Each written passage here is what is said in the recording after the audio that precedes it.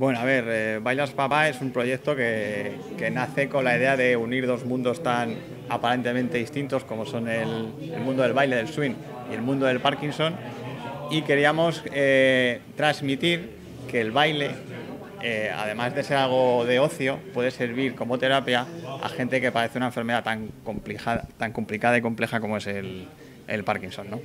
El guion de la historia nace de una historia real de Esther Molina, que es además de co-guionista, es la actriz principal, eh, que cuenta, me contó un poco la historia de su madre, de cómo ella, eh, diagnosticada de Parkinson, el médico la recomendó bailar, pero no quiso bailar. Contacto con la Asociación de Parkinson Madrid y ellos nos dieron una información eh, gigantesca sobre la enfermedad, que la verdad es que enriqueció de una manera brutal el guion nosotros, en nuestro caso, yo en mi caso particular, no conocía la enfermedad directamente y se abrió todo un universo de síntomas que yo desconocía totalmente y me di cuenta de que era algo muy desconocido por la sociedad. Y entonces lo quisimos plasmar en el guion, todos esos síntomas, no están todos porque es imposible, pero sí muchos de los más desconocidos. ¿Por qué hay que ir a ver este corto? Bueno, creo que es un corto que trata un tema, sobre todo de una enfermedad que es la segunda enfermedad eh, más importante del mundo eh, degenerativa y es una enfermedad que casi todo el mundo tiene alguien que conoce, cercano, que la padece. Y sin embargo es una enfermedad de la que se habla muy poco.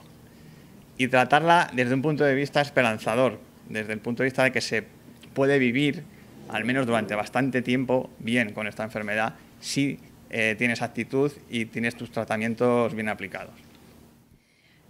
Eh, es la guía para, llevar a mi padre, se llama Bailas Papás, yo creo que es la guía para llevar a mi padre a, tener una vida mejor.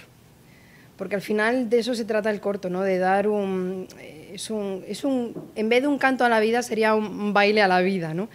Es una idea para que, para que la gente se, refuerce de positividad, que salga adelante con, con, con esa, los afectados de Parkinson, para que la gente conozca en verdad eh, el Parkinson, porque realmente lo, que se conoce son los temblores y, poca cosa más.